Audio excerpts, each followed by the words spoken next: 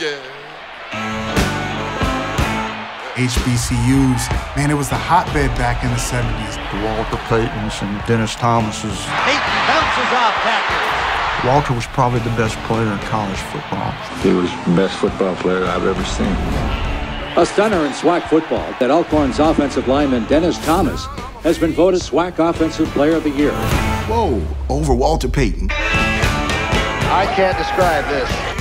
I mean, he had to just dominate in every game. I'm amazed at that even now.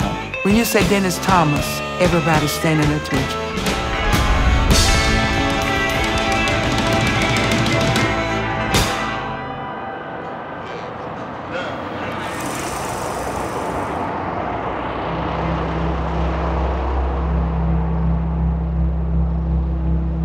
I am a product of 517 Walnut Street Heidelberg, Mississippi. What went on in that household was tremendous, life changing. Didn't know it at the time.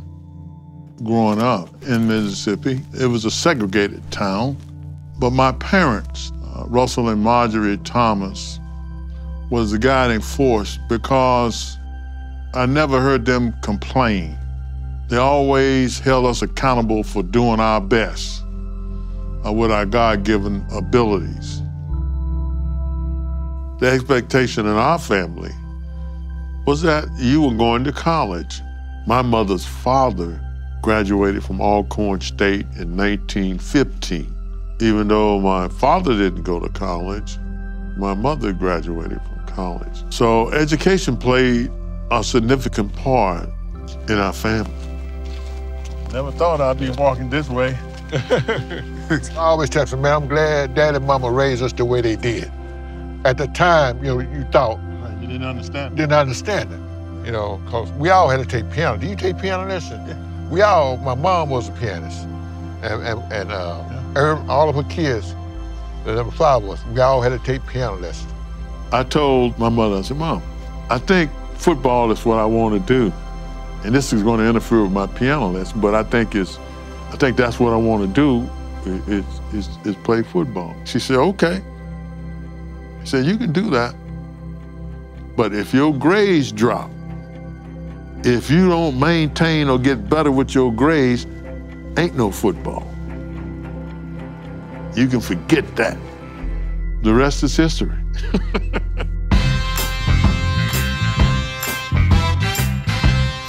I met Dennis in high school.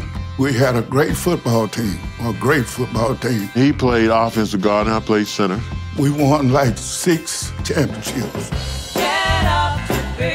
He was young then, a humongous fella.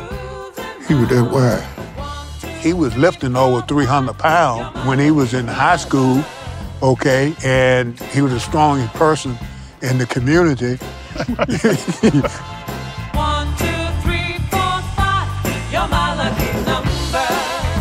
My junior year in high school, I, I felt that football was a path for me. Every challenge is an opportunity. And I wanted to get a football scholarship, and I wanted to do well. Football player, you might play football for four years in college.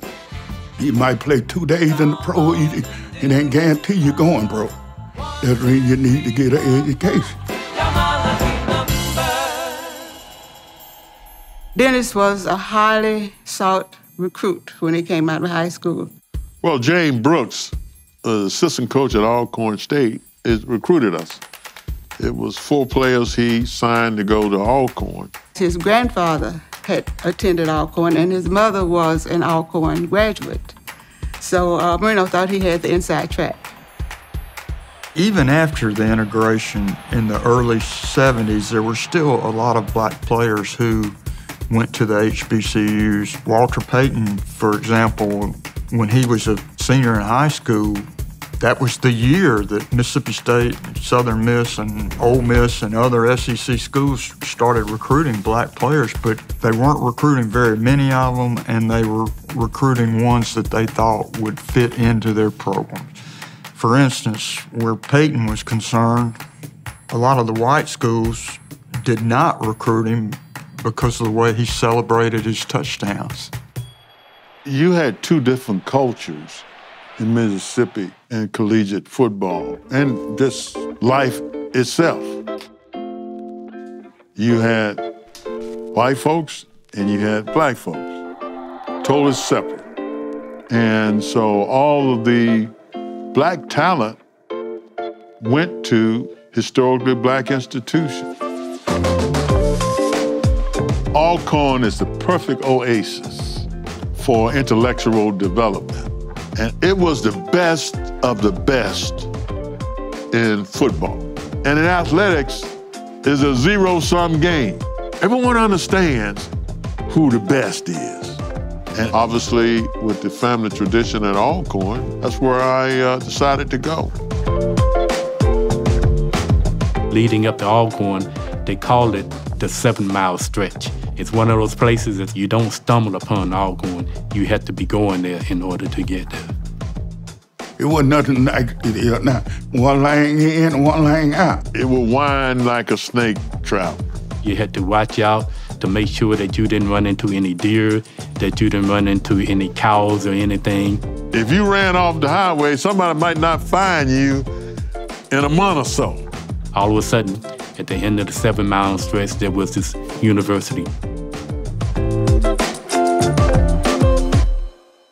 So Dennis came and he was uh, an excellent student, a fine athlete. He got many SWAC honors. Dennis liked to work.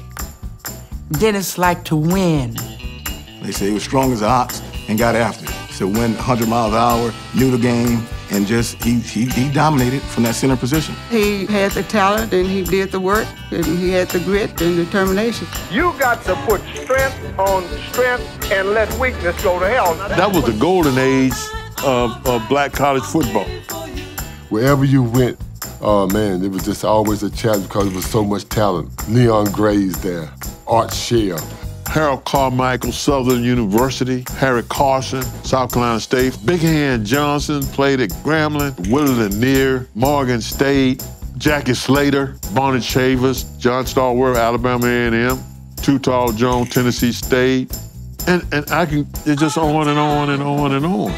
The talent level of the HBCU teams would have been on par with the SEC now. I was the sports editor of the Hattiesburg American at the time, so I was covering Southern Miss almost every Saturday. But when I wasn't, if I was going to another game, it would have been Walter Payton at Jackson State. He, he was probably the best player in college football. When you saw Walter, it was just like Picasso painting a picture. It, it's just like Jesus reading the Bible. The way he run, the way he moved, he could run over you, he could run around he could do it all. My dad was pound for pound the greatest football player that I've ever seen in my entire life. When you have unparalleled talent and you match that up with the work ethic, then you get Walter Payton. I saw talent that I'd never seen before. If you want to be the best, you got to put something into it that other folks are unwilling to put into it. That's a separation point. And I remember only wanting to be one of the best at it. I wanted to be the best. A stunner in SWAC football, as we learned today that Alcorn's offensive lineman Dennis Thomas has been voted by the coaches as SWAC Offensive Player of the Year. Whoa. As a football guy, I know how hard it is for an offensive lineman to be named Offensive Player of the Year. One offensive lineman don't have any stats. A lot of those those votes are based off of stats and the body of work you put in. I can't remember any other instances of, a, of an offensive lineman being the most outstanding offensive player in a, in a league or in the country or anything like that. Particularly not when one of the running backs in the league was Walter Payton. So I said, wow, over Walter Payton, but an offensive lineman able to do it. I don't think he was too happy about not getting that nod. A running back is never supposed to lose out an offensive award to an offensive lineman. That does not make sense. Man, he, mean, he can brag and boast about that all he wants to because he's got the award. My dad doesn't. If you know Walter now, I'm gonna tell you, they probably hurt him. He probably bitched a little bit. So, you know, I'm proud. I'm proud too. And I said, well, just as good as you could run, I could block. And by the way, if I was blocking for you, you'd probably be a 2,000 yard rush. And we had a big laugh about that, but it was all in jest. And he's obviously one of the best to carry. In motion through to the left side. Quick pitch to Walter, looking for the record, cuts back. He's got it. He's out of it at 25 to the 26-yard line. Walter Payton becomes the National Football League all-time leading rusher, surpassing Jim Brown. It was the best of the best in football, and that's been proven out. Everyone had talent. When you look at the Hall of Famers, the guys that wear gold jackets that came out of HBCUs, man, it was the hotbed back in the 70s. I graduated Alcorn at 20, and that's when I started to uh, crystallize what my future uh, would hold for Dennis Thomas. With anyone that play college football, you have ambitions and plan on the next level. I asked him, did you ever have aspiration to plan? He, looked at me straight in the face. Like, no. he said, um, you know, I, I, I, played college, I enjoyed college, but no, my ambitions was I was going to get my education and I was going to pursue a career um, outside of being an athlete. That, that wasn't the end goal for me. The end goal for me was become a defense coordinator, then a head coach, and then go into administration. And but that's that was my mindset. I think they got those values from home about education and being the best that they could be. I thought that I could make a difference on a bigger stage, not only for student athletes, but for institutions, coaches, and staff. I, I think all, all the other things that's been done, you know about them. But the most impactful things to me is what have you done for, for society? You don't have to be a, an ambassador to the world. You just have to make, make a difference in the life of one person. Dr. Thomas, I would not be where I am without you. Um, your mentorship, your advice um, has definitely put me on the path to where I am. I hope I continue to make you proud. And I just wish you the best. I wanted to be the best football player. I wanted to be the best grad assistant. I wanted to be the best assistant coach. I wanted to be the best coordinator. I want to be the best head coach. I want to be the best athletic director. I want to be the best commissioner. What it's all about with Dennis Thomas, I think it has worked out pretty good.